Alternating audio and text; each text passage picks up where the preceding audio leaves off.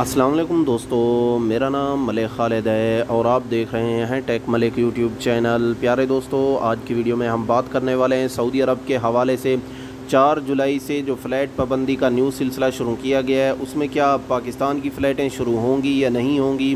पूरी तफसीलात इसी वीडियो के अंदर आप दोस्तों को जो है बताने वाले हैं कि अफ़गानिस्तान की फ़्लैटें बंद करने के बाद अब पाकिस्तान की फ़्लैटें शुरू हो जाएँगी या नहीं होंगी।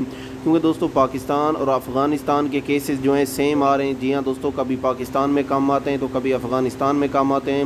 और जिन लोगों के वीज़े ख़त्म हो चुके हैं, इकतीस जुलाई तक अगर फ़्लाइटें स्टार्ट नहीं होती तो उनके क्या होगा? तो पूरी तफसीलात इसी वीडियो के अंदर आप दोस्तों को जो है बताने वाले हैं। वीडियो अच्छा लगता है तो वीडियो को आपने लाइक करके अपने दोस्तों के साथ इस वीडियो को व्हाट्सएप फेसबुक पर शेयर भी कर देना है, ताकि आपके और भी दोस्तों को पता चल सके।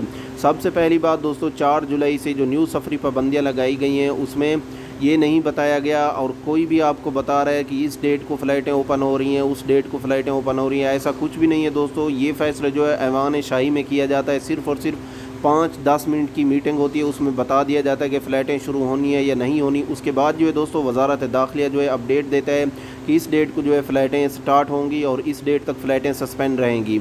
लेकिन दोस्तों, पाकिस्तान और अफ़गानिस्तान के जो केसेस हैं, बिल्कुल सेम टू सेम आ रहे हैं। कुछ ज़्यादा नहीं है, ना अफ़गानिस्तान के ज़्यादा थे, ना पाकिस्तान के। तो दोस्तों, यहाँ पर पाकिस्तान की फ़्लाइटें बंद रखी गई थी और अफ़गानिस्तान की फ़्लाइटें स्टार्ट थी।